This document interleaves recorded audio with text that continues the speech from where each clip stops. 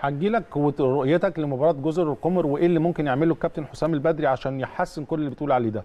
يعني أنت دلوقتي اختصارا أنت شايف إن مباراة كينيا كان فيها الشكل التكتيكي غير مناسب طبعا. لخدمة محمد صلاح؟ يعني ما كانش فيه سبورت لمحمد صلاح؟ ولا المصطفى محمد. ولا المصطفى ولا محمد؟ تريزيجيه. ولا تريزيجيه. الثلاثه اللي بيلعبوا آه. قدام نتيجة إن إحنا شوية ما فيش ضغط من قدام الواجبات الدفاعية كانت غير مفهومة بالنسبة لمحمد صلاح وتريزيجيه ده أدى آه. لتفوق كينيا طيب على الجزء الآخر الحلول اللي أنت شايفها يعني أنت خلاص مباراة كينيا عدت يمكن خدنا الهدف منها الوصول لأمم طبعا. أفريقيا أنت شايف آه، من وجهة نظرك الفنية إيه اللي بقى لو هنلاعب منتخبات كبيرة زي الجزائر زي المغرب زي تونس الشكل الأفضل لمنتخب مصر تغيير طريقة اللعب ولا ندي نفس طريقة اللعب مع تغيير وظائف اللعيبة أو المهمات اللي يعني بيسندها المدير الفني للعيبة. أنا شايف إن الفترة الجاية لازم أجرب أسلوب الضغط العالي بنفس الطريقة. 4 2 4 2 3 3 1 تمام. أجربها في ماتش مثلا بكرة.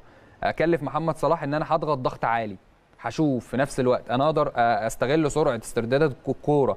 دي نقطة مهمة جدا باستخدام الضغط العالي سواء محمد صلاح سواء قفشة سواء تريزيجيه سواء مصطفى محمد. أقدر أدي محمد شريف برضو محمد شريف ميزته عن مصطفى محمد في حاجة. مصطفى محمد ميزته كلها في الكوره العالية. إن أنا لو هلعب تمرير طولي والكرة الثانية وهعمل له عرضيات هتلاقي مصطفى محمد بيظهر بشكل كويس جدا.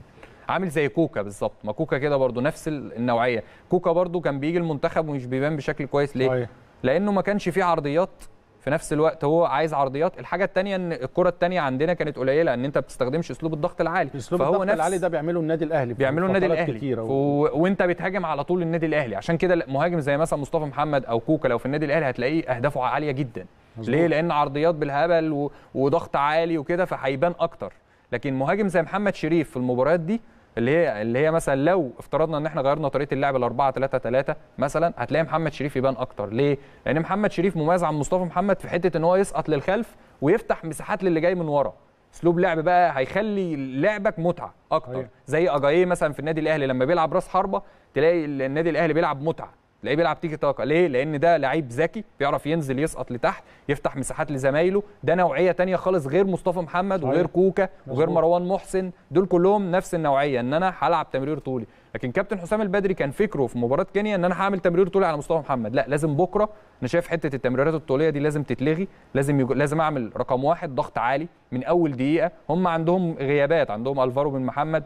طب يدينا مش- شوية برضو شوية آه، يعني معلومات كده عن جزر القمر خاصة تمام. جزر القمر كمان أعتقد لأول مرة توصل آه، آه أمم أول مرة أفريقيا. أول مرة توصل. إحنا بالمناسبة عندنا ست منتخبات عربية لأول مرة في تاريخ كأس الأمم توصل آه، ست منتخبات عربية ولسه يعني يمكن يبقى في سابع لو موريتانيا كسبت أفريقيا الوسطى يوم الأحد هيبقوا سبع منتخبات. فهم حتى الآن ست ست منتخبات. منتخبات عربية صحيح آه صحيح. فدي ده رقم قياسي ما حصلش. البطولة الأخيرة اللي كانت في مصر كان خمسة.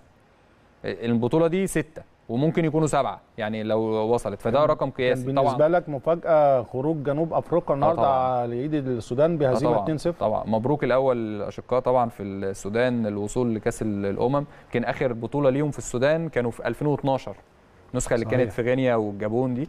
يمكن بقى لهم حوالي 10 10 سنين ما. تأهلوش لكأس الأمم ألف مبروك ليهم وهم على فكرة برضو خدوا كأس الأمم سنة 1970 وأخ- ووصلوا نهائي مرتين فالسودان طبعا فرقة آه. كان من المنتخبات القوية لكن جدا لكن طبعاً. منتخب جنوب أفريقيا منتخب قوي يعني في لعيبة تقيلة بيرسي تاوز واني لا لعيبة لعيبة تقيلة وبرده نصهم كمان في لعيبة كتير من سان داونز. فسان داونز ماشي ماشي بشكل كويس جدا أعتقد إن مشكلة جنوب أفريقيا في المدرب المدرب بتاعهم محتاج إن هو يعني لو غيروه أعتقد إن قدراتهم هتبان بشكل أكتر ولكن طبعا مفاجأة كبيرة وصول السودان على حساب جنوب أفريقيا خاصة إن مجموعتهم كانت مجموعة نارية يعني ولكن بالتأكيد وصول السودان يعني لازم نبارك لهم طبعا ونبارك. لكل الفرق العربية صحيح. اللي وصلت صحيح يعني ده حاجة يعني تحترم يعني